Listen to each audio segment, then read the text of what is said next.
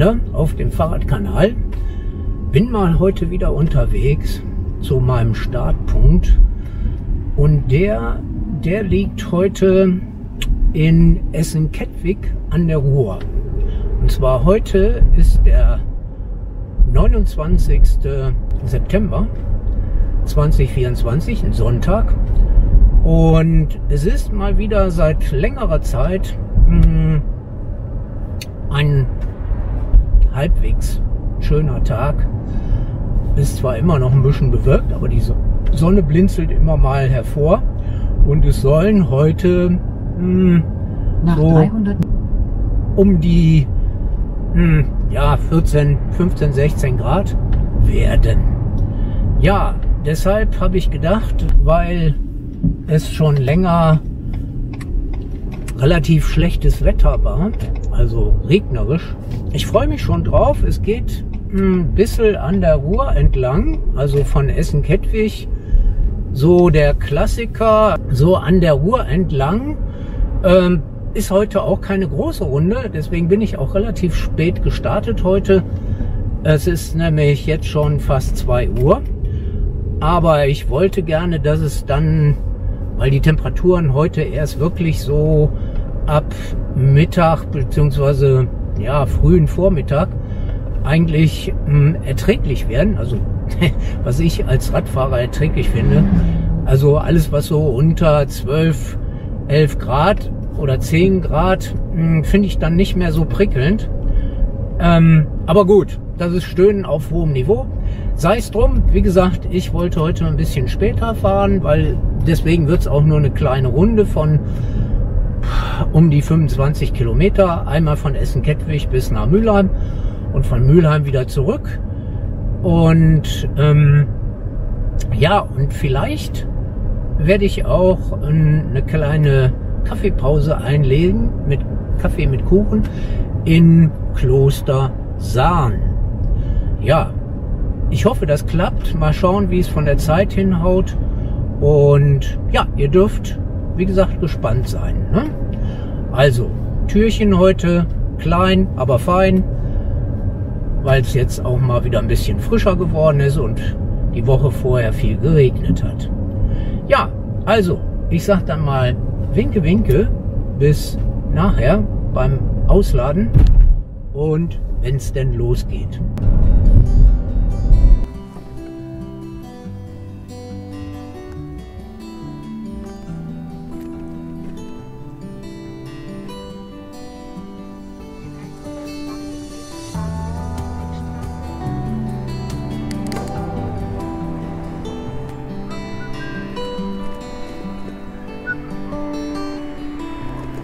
Ja, hallo nochmal zusammen hier jetzt vom PC Schneidetisch aus. Ihr seht, ich bin schon unterwegs. Hier über die Kettwiger Brücke, hier über die Ruhr. Rechts ein Blick in die Ruhr hinein. Und jetzt geht's ins Getümmel hier nach Essen-Kettwig. Erstmal jetzt hier noch über die Ampel und dann kommt auch schon die erste Eisdiele voraus hier. Ihr seht rechts und links stehen schon die Fahrräder. Hier rechts ist die Eisdiele.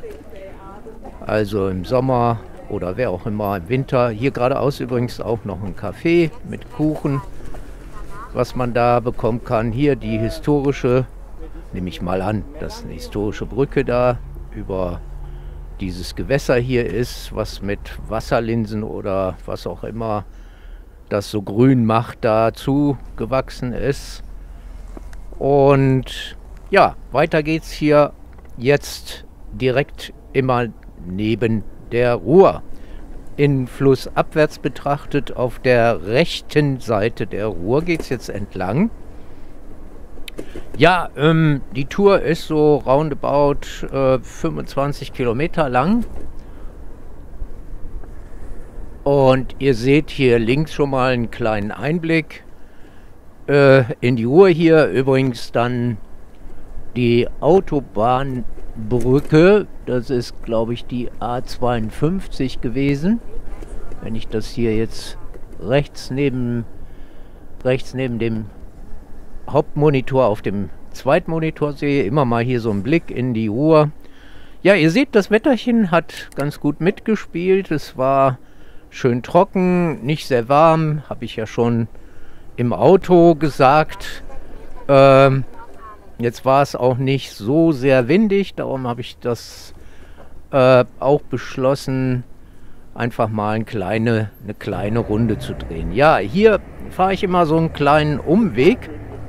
Ähm, das ist hier so kurz vor dem Ortsteil Holthausen, weil ich dann über die, äh, jetzt muss ich mal gerade gucken, Mendener Brücke, wenn ich das richtig lesen kann, die ist jetzt hier voraus, um wieder die Ruhrseite zu wechseln, weil es ist leider so, dass ähm, wenn man den äh, Uferradweg da weiterfährt, unten äh, kommt man kurz hinter dieser Brücke rechts, da wo ihr jetzt mein Kinn seht, da unten ist der Ru Uferweg dann eigentlich für Radfahrer gesperrt und äh, ja, da ich mich immer versuche daran zu halten, wenn ich es nicht irgendwie übersehe, also ich kenne das ja schon. Deswegen fahre ich dann hier über die Mendener Brücke und dann geht es wieder rechts ab und dann bin ich eigentlich ein Stückchen auf der linken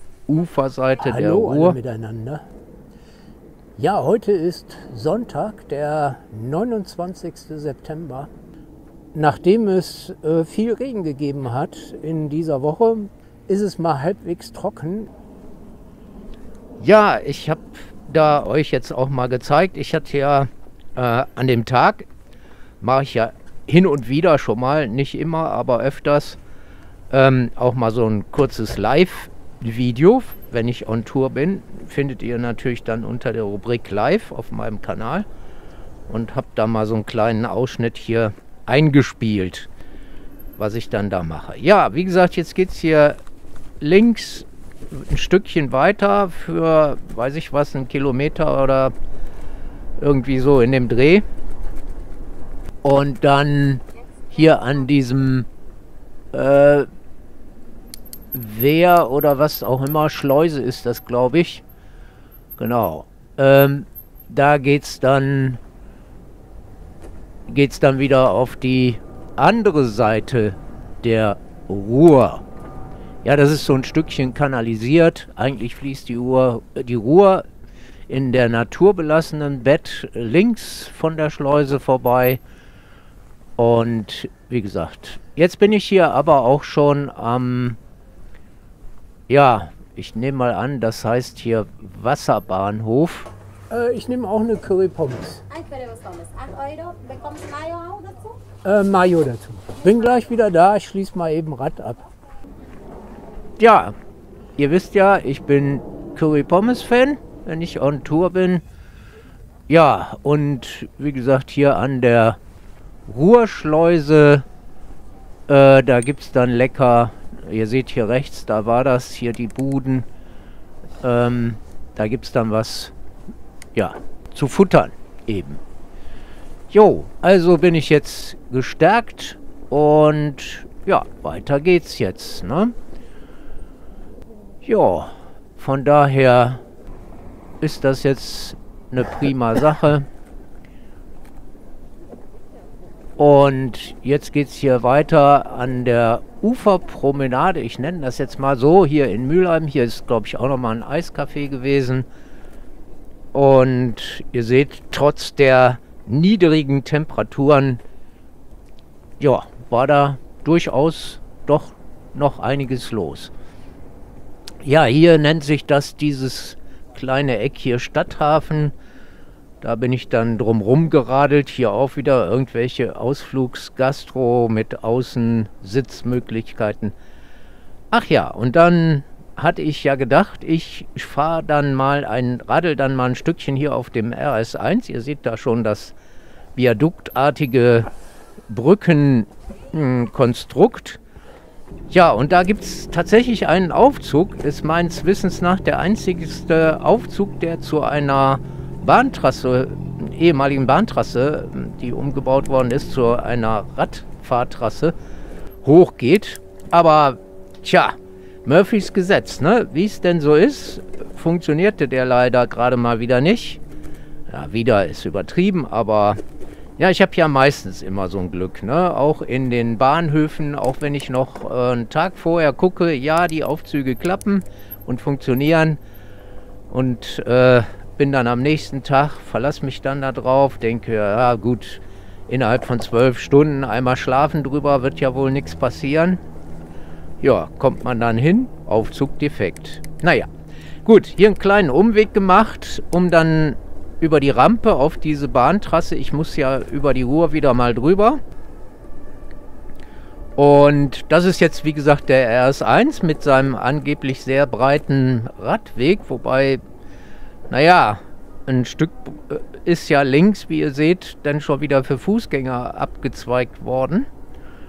Ist ja auch okay, um Gottes Willen. Ähm, ich gönne den Leuten das ja und den Fußgängern. Ähm, aber ihr seht, ne, weil das jetzt oh. hier ja, ne, Fahrradtrasse äh, ist mit einem breiten Fahrradweg, muss man dann auch nebeneinander fahren und wenn dann Gegenverkehr mit Fußgängern ist, ähm, ja, ne, kommt man eben dann trotzdem schlecht aneinander vorbei. Ne? Ja, hier mal so ein Blick, ne, dann in die darunterliegende Straße. Ja, und hier geht es dann auch weiter in die Müger, Mülheims Garten an der Ruhr nennt sich das hier. Da bin ich dann abgebogen. Ich habe das jetzt mal ein bisschen schnell vorgespult. Ähm, ne, ich sehe gerade, das ist jetzt nicht die Müger, aber hier am Ringlockschuppen. So, Entschuldigung. Hm, Asche auf mein Haupt. Habe ich gerade was Falsches gesagt. Ich habe es jetzt berichtigt.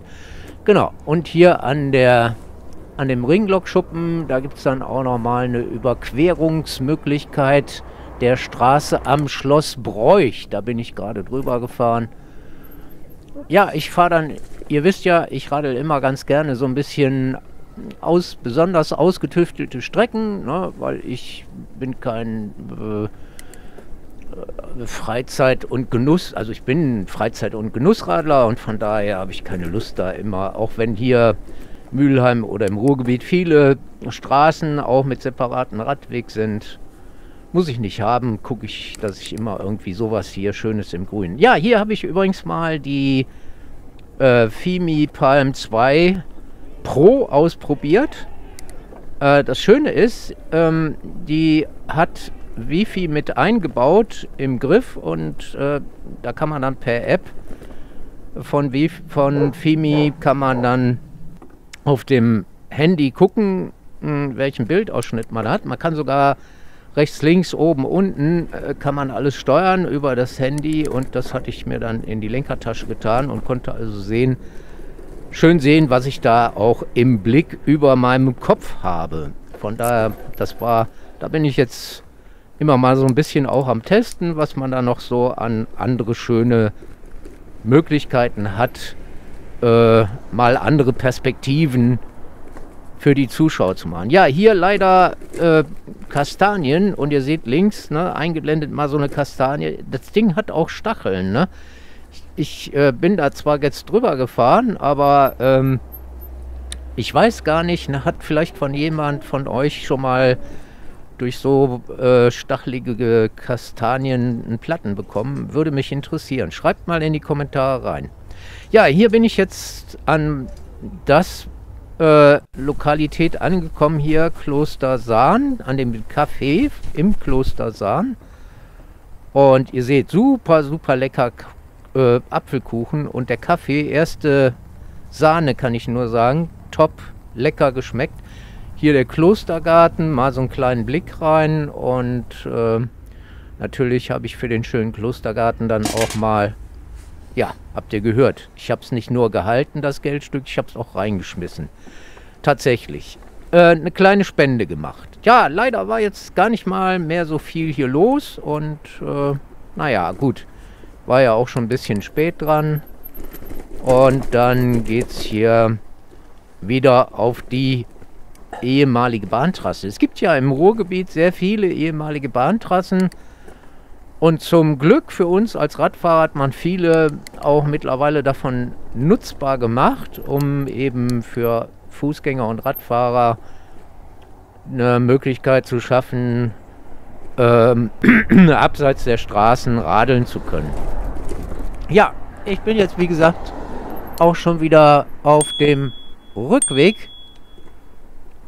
Und ähm, ja, das geht dann hier Ihr seht, da ist schon wieder die, die Autobahnbrücke, das äh, stelzenartige Viadukt. Dann geht es hier auch an einem Pferdehof vorbei, beziehungsweise das ist dann hier schon,